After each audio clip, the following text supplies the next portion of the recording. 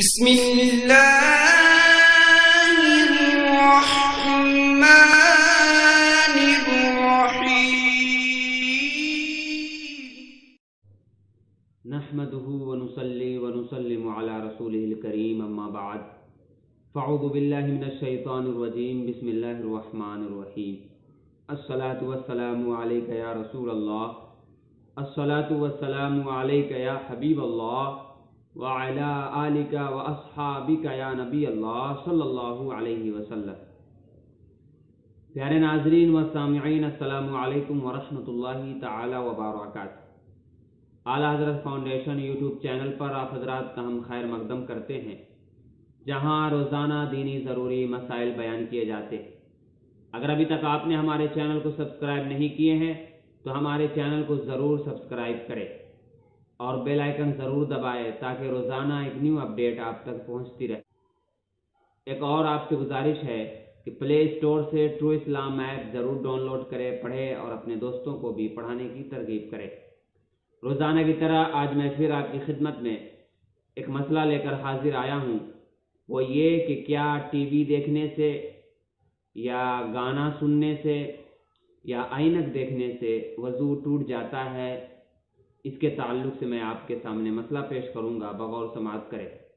अक्सर व बेशतर बहुत सारे लोगों का ख्याल होता है कि टीवी देखने से वज़ू टूट जाता है और किसी ने सवाल ये भी किया था कि, हज़रत, हमारे यहाँ आईना देखते हैं जिसमें हम अपना चेहरा वगैरह।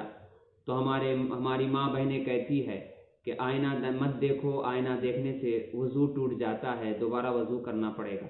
तो इसकी क्या हकीकत है? इसी तरह किसी ने ये भी सवाल किया था कि गाना सुनने से क्या वज़ू टूट जाता है? इसके ताल्लुक से भी हमें बताए। तो मैंने समझा कि इस पर एक वीडियो बना दिया जाए ताकि सारे लोग फ़ायदा उठा सके। बिस्मिल्लाहिर्रहमानिर्रहीम। ये बात वाज होना चाहिए और हमें मालूम होना चाहिए कि टीवी देखने से वज़ू नहीं टूटता। और ना ही म्यूज़िक गाना वगैरह सुनने से वज़ू टूटता है। हालाँकि टीवी देखना ये नाजायज़ है म्यूज़िक सुनना, गाना सुनना ये भी नाजायज़ है। लेकिन अगर कोई ये सब करे तो उससे वज़ू नहीं टूटता और इसी तरह आईना देखने से भी वज़ू नहीं टूटता।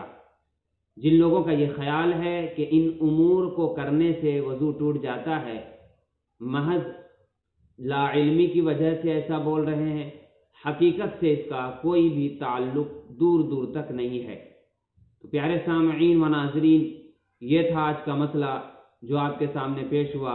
सदक़ जारिया समझ कर इसे आगे भी शेयर करें। मिलते हैं अगले वीडियो में। खुश रहे, आबाद रहे।